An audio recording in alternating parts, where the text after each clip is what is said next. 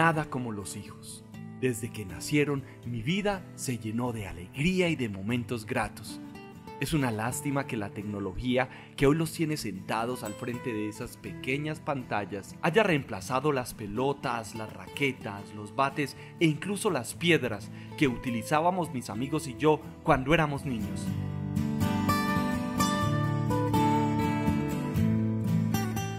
Por esos días no teníamos las canchas, las unidades deportivas ni los parques infantiles que hoy tenemos. Pero aún así nos las ingeniábamos para aprovechar cada espacio con tal de pasar un buen rato y disfrutar la vida jugando con los demás niños de la cuadra.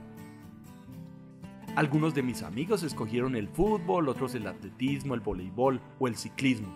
Yo por mi parte siempre me sentí atraído por el baloncesto.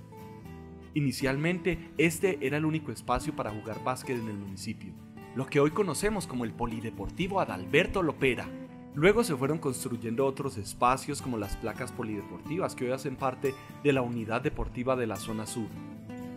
Hasta que en 1996 se creó el INDESA, Instituto para el Deporte y la Recreación de Sabaneta. A partir de ese momento la actividad física se volvió mucho más importante para el municipio. Hoy tenemos dos grandes unidades deportivas, cinco canchas de fútbol en grama sintética, 13 disciplinas deportivas y muchas opciones para disfrutar de la actividad física. Gracias a la excelente organización deportiva, Sabaneta se ha convertido en sede de grandes eventos de carácter nacional e internacional de esta manera se fueron consolidando los procesos que han dado como resultado importantes logros en el departamento, el país y el mundo entero. En el 2015, por ejemplo, Sabaneta fue campeón general y por equipos de los Juegos Departamentales en la disciplina de tiro con arco, y se obtuvieron en total 25 medallas.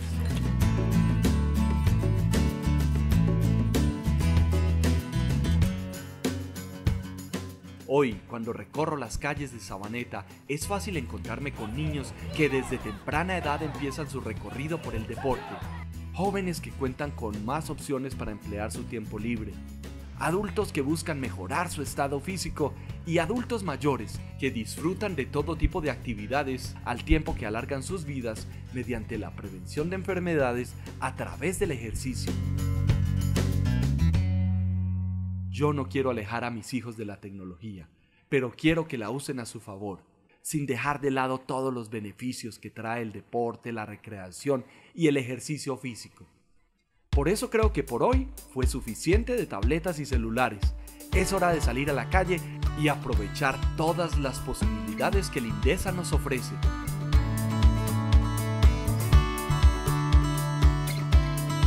Definitivamente hay mucho por hacer y nada mejor que compartir con ellos momentos de sano esparcimiento, que nos acerquen como familia, a la vez que nos sirven como una forma de divertirnos y ejercitar nuestros cuerpos. El deporte y la actividad física me ayudarán a brindarles a mis hijos un mejor futuro. Y gracias a Lindesa, que hoy cumple 19 años, en Sabaneta tenemos más opciones para hacer deporte y aprovechar el tiempo libre.